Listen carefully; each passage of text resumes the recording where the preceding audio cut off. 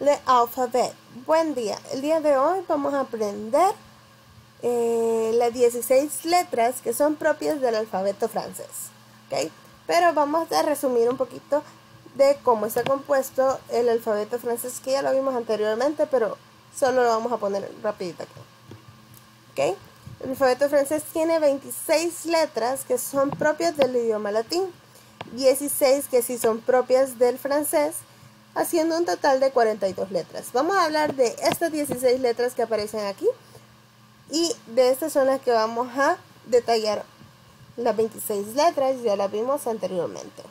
Los invito a que vean el video anterior si no lo vieron para que puedan eh, aprenderlas.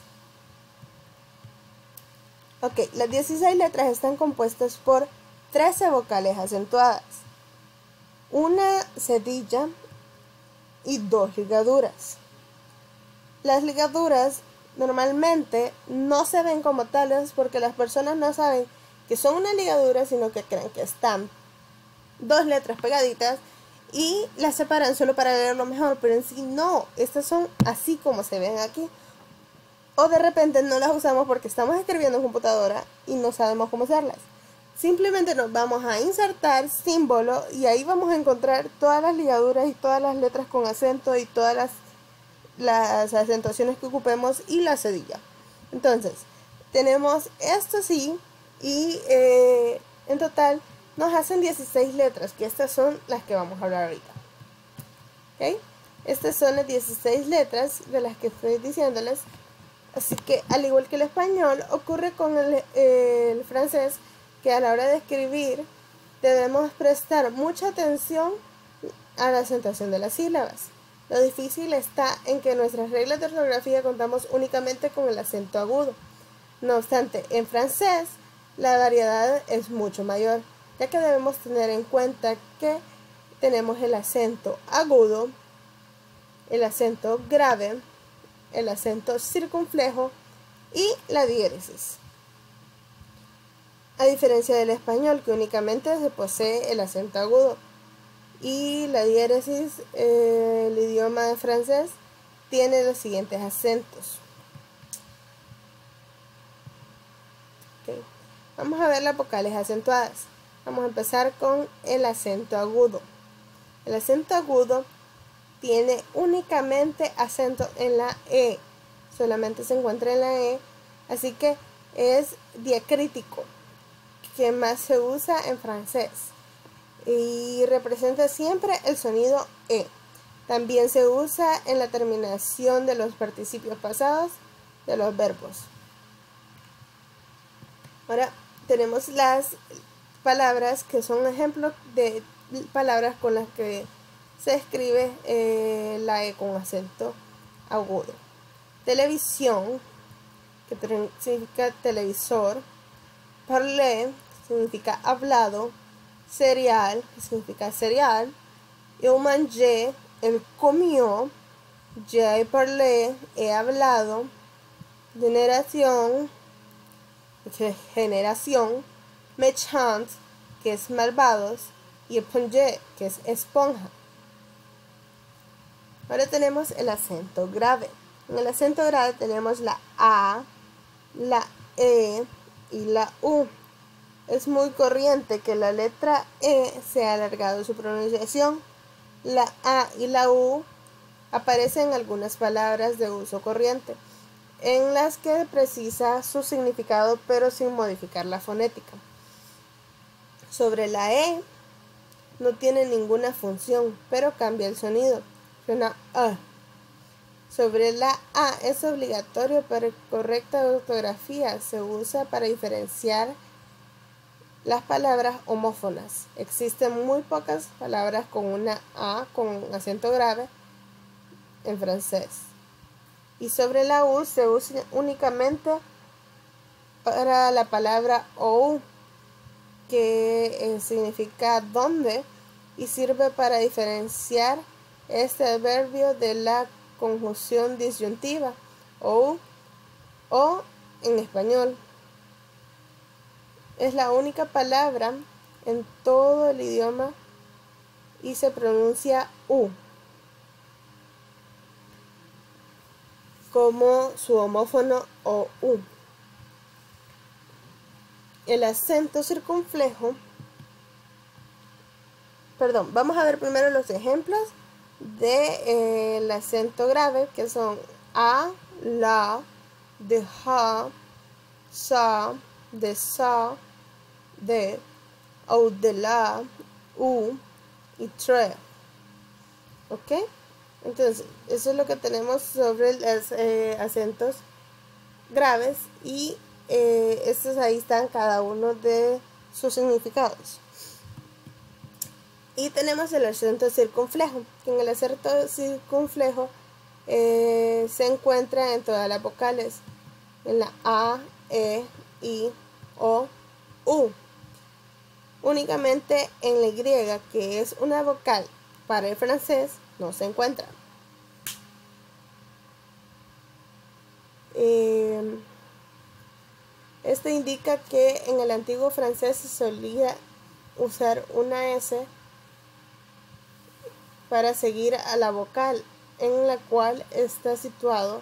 También sirve para las homófonas, para diferenciar du de do y la A se pronuncia O la E se pronuncia E. La I y la U no cambian el sonido. Son I y U. Y la O se pronuncia U. Dependiendo de la región, claro. Sabemos que, igual que en Latinoamérica, cambian eh, nuestros cantaditos, nuestras pronunciaciones. Así también es allá. ¿Ok? Entonces, tenemos también eh, los ejemplos de, esta, de este acento, que es el acento circunflejo, son etre, de ser o estar, forêt, de bosque, connaître, de conocer, côté, de costa, chateau, de castillo, hospital, de hospital, paraître, de parecer, good, de gusto. Luego tenemos eh, la diéresis. La diéresis o el trema, como se le dice, se encuentra en vocales que son E, I, U y en la letra Y. En muy pocos casos aparece en la letra Y, más que todo se usa para nombres propios. Y es usada para evitar la formación de dígrafo vocálico. Indica que las vocales están dos vocales formando un diptongo. Deben pronunciarse separadas. Tenemos Noel, Navidad, Naive, que es ingenua, maíz, que es maíz, heroín, que es heroína. Son muy pocas palabras las que se utilizan, por eso puse estas, eh, pero si utilizan eh, diéresis, algunas más, las que podemos investigar un poquito más. Luego tenemos la cedilla. Antes de la cedilla vamos a ver eh, un resumen de lo que ya vimos anteriormente. El acento agudo, grave, circunflejo y la diéresis son los acentos que conforman las 16, las 13 letras de las 16 que son propias del francés. Eh, el acento aigu es el acento agudo, acento grave, acento grave, eh, acento circunflex y le trem. Esos son los acentos que conforman las 13 letras acentuadas. Luego tenemos la cedilla. La cedilla es esta letra que podemos ver por acá, a la que se parece mucho a la C. ¿Y por qué? Porque esta es una C Simplemente que se le añade una virgulía, que es este pedacito de aquí, como una S abajo. Es esa virgulía la que hace que se llame cedilla. Se utiliza para indicar la pronunciación S y no K delante de las letras A o U, como por ejemplo SA. O sea, en este no viene siendo como la S de las K, Q que tenemos en la C. Entonces, este viene haciendo la diferencia porque en la C solo tenemos C, sí, que suenan con S. Entonces, aquí completamos sa, so, su. Y tenemos algunos ejemplos que son garçon, sa, reçoit, François. Todos estos podemos verlos en eh, buscar algunos ejemplos más y todos estos suenan con S. No hay ninguno que suene con K. ¿Ok? Y luego tenemos las ligaduras. Las ligaduras son dos. La primera es AE. La ligadura AE es una contracción obligatoria, pero es más rara y se utiliza solamente en palabras latinas, como decir curriculum vitae o en nombres propios, que son nombres eh, propios de Francia. Aunque se pronuncian así allá, se tienen que pronunciar así acá, porque los nombres no cambian, importando si cambia el idioma. Por ejemplo, mi nombre, Nilser, se va a pronunciar Nilser allá, se va a pronunciar Nilser en Estados Unidos, se va a pronunciar Nilser en Grecia se va a pronunciar Nilser en China, en todos lados se va a pronunciar de esa misma forma. Por ejemplo, Letita, que va, esa, ese nombre va con esta ligadura, ese nombre sí lo vamos a pronunciar acá, porque los nombres no cambian. Y luego tenemos la ligadura OE que es una construcción de la O y la E. que tenemos aquí. Y cambia la pronunciación. La pronunciación sí es U. U. Por ejemplo, tenemos sur, que es hermana.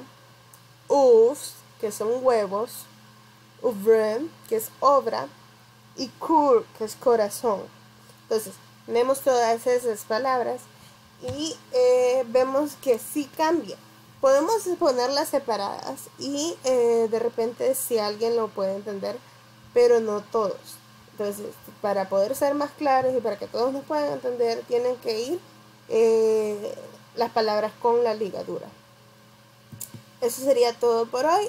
No sé si tienen alguna duda, pregunta, me la dejan en comentarios, en plataforma o el correo y estoy a la orden.